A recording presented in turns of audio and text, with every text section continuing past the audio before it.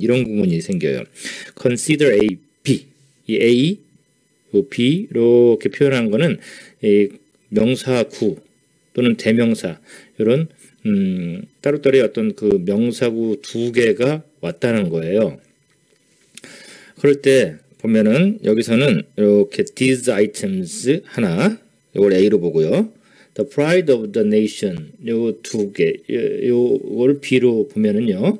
어, A라는 명사구와 B라는 명사구 두 개가 등장하죠. 이럴 때 consider A, B 구문이 어, 보이게 됩니다.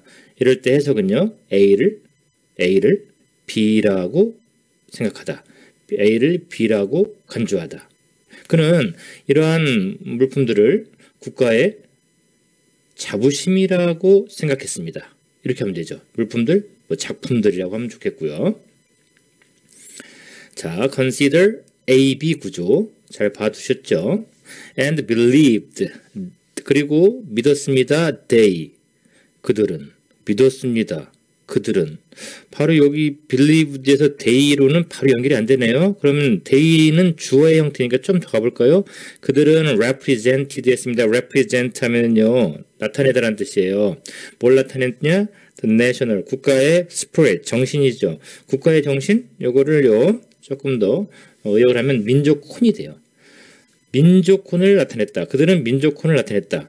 야, 그리고 믿었습니다.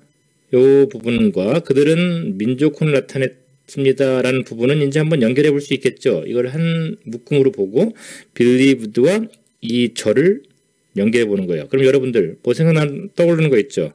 이런 표현, 이런 어, 공식 타동사 다음에 타동사는 목적어를 필요로 하는 동사 타동사 다음에 절이 오면 절을 먼저 파악한 후 타동사 연결해라. 믿었습니다. 뭘 믿었어? 그들은 민족혼을 나타낸다고 믿었습니다. 그들이 민족혼을 나타낸다. 표시한다. 라고 믿었습니다. 이렇게 해석이 됩니다. Without his actions, 그의 행동 없이. 자, 참고로 이 without은요, 뭐뭐 없이란 뜻, 이게 이제 일단 기본적인 의미예요. 그리고 조금 조금 의역이라고 할까 아니면 뭐 사전적인 의미로 또 어떤 뜻이 있다고 그랬죠? 뭐뭐가 없다면 이런 식으로 해서 가정법 문장에 쓰일 수 있다라는 거예요. They would have been. 야, 여기서 요 would have been을 보세요. would는요 조동사의 과거형이죠. 조동사 과거형. 그 다음에 have pp 현재 완료 시제 왔어요. 조동사 과거, 과거형 다음에 이렇게 have pp가 오면은 have pp가 오면은 자 어떤 경우에 의미들이 생기는지 우리 한번 다시 정리해 봅니다. 예전에 해봤는데 갑니다. 조동사 플러스 have pp 해석법. 조동사의 과거형이라기보다는 더 넓게 조동사 플러스 have pp입니다. 일단 이 그룹 한 그룹이 보이죠. 여러분들 지난 예전에 한번 본 적 있죠. 한 그룹은요. 우제 pp, 그제 pp, 마레 pp라는 그룹이에요. 또 한 그룹 must pp, can't pp, may pp. 야, 기억나죠? 마지막 그룹 should pp입니다. 자, 요것은요. 일단 어, 첫 번째 그룹 우레 pp, 그레 pp, 마레 pp는 가정을 할 때, 의 가정의 의미를 표현할 때 쓰고요. 두 번째 그룹 must pp, can't pp, may pp는 추측의 의미를 표현할 때 쓰고요. 마지막은 뭐 후회의 의미를 표현할 때 씁니다. 그래서 해석을 대충 하면은 첫 번째 그룹은 가정이에요. 아, 뭐뭐 했었으면, 뭐뭐 했으면 좋았을 텐데. 이런 의미가 되죠. 물론 이 could는요, 조금 could의 의미를 살려서 뭐뭐 할 수 있었으면 좋았을 텐데. 할 수 있었으면 좋았을 텐데. 이런 식으로 해석을 해주겠죠.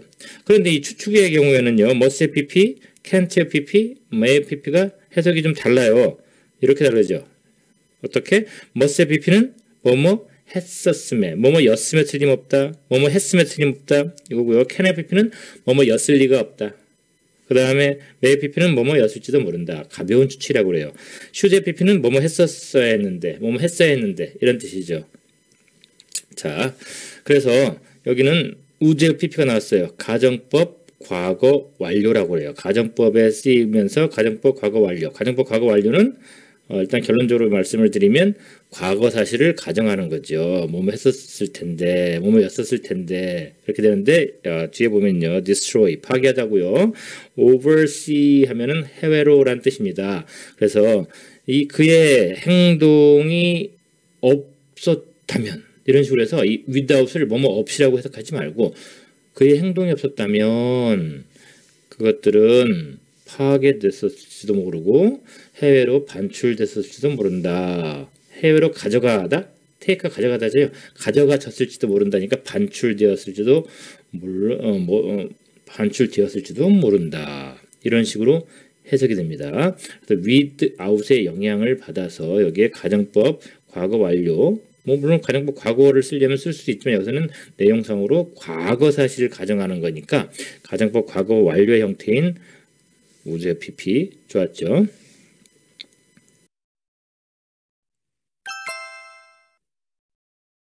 그 돈으로 그 돈으로 그 돈을 가지고 그는 보냈습니다.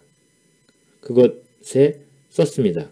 그 돈을 가지고 그는 그것에 썼습니다. 간송은 어 이렇게 연결이 안 되네요. 그 돈을 가지고 그는 썼습니다. 그것에 썼습니다. 그럼 그것은 뭘까요? 지금 그리고 간송은 뭐뭐 요거 could pp 여러분 봤죠 아까 would have pp could have pp might have pp 봤었죠? 그래서 가정 가정에 쓰이고 뭐뭐 어, 할수 있었으면 좋았을 텐데 뭐뭐 할 수 있었을 텐데 할 수 있었을 텐데 뭐 이런 식으로 간다는 얘기죠. 그러면 지금 여기서 어, 있는 그대로 이렇게 하면서 이렇게 쭉 가는 구조로 했더니 해석이 여기, 여기서 딱 걸려버려요. 안 돼요. 그러면 요 다른 식. 그 돈. 그가 거기에 썼다. 아, 명사 다음에 주어 동사 절이 왔어요. 그러면 일단 꾸며줘 보자. 그렇죠. 그래서 어, 이런 패턴 명사 다음에 절이 올 때. 뭐 사실 결과부터 얘기하면 간단한 거긴 하지만 여러분이 그걸 염두에 두지 않은 상태에서 그냥 앞에서 쭉 해서 나가다 보면은 그냥 어, 그 돈을 가지고 그는 썼습니다. 그것에 뭐 이런 식으로 그냥 잘 되는 것처럼 보여요. 그러면서 지가 좀 어, 여기서 엉키게 되니까 갑자기 혼란스러워지죠. 어 그래서 한번 어, 해보는 건데 어쨌든 이렇게 혼란스러워질 때는 여러분이 즉각 아 명사 다음에 절이구나를 간파하면 되죠. 그러면 그가 그것에 썼던 돈으로 그것에 썼다는 얘기는 사는 데 썼다는 얘기잖아요. 그것을 사는 데 썼다. spend on it 하면은 어, spend 이 on이 무엇을 구입하다 할 때 on을 쓰는 겁니다.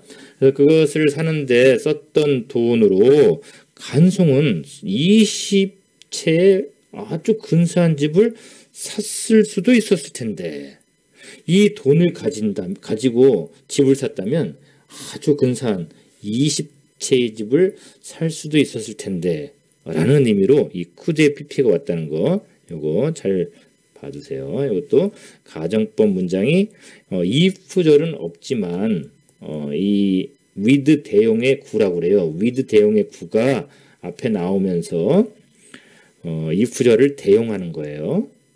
어쨌든 해석을 하다 보면은 여러분이 아 이건 가정법으로 해석해야 되겠구나라는 걸 여기서 할 수 있는 거죠.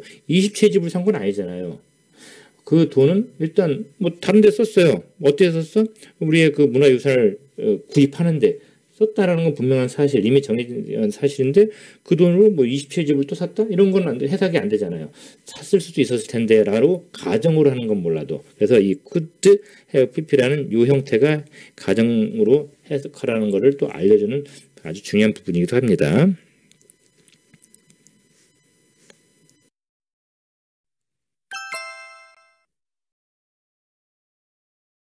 이노베이션, 이노베이션은 혁신이에요. In agriculture, 농업이죠. 농업에 있어서의 인간의 혁신은 has 가져, 가집니다. unlocked, has unlocked. 뭐 현재 완료로 해서 열었습니다. 이렇게 하면 되겠죠. modification 원래 변형이란 뜻인데요. 변형을 열었습니다. In apple 사과, tulip, tulip and potato 감자, 사과, 튤립, 감자에 있어서의 변형을 열었습니다.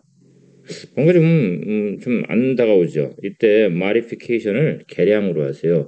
사과의 품종 개량, 뭐 튤립의 품종 개량, 감자의 품종 개량을 가능하게 해왔습니다. 뭐가? 농업에 있어서 혁신이. 이렇게 하면 되겠죠?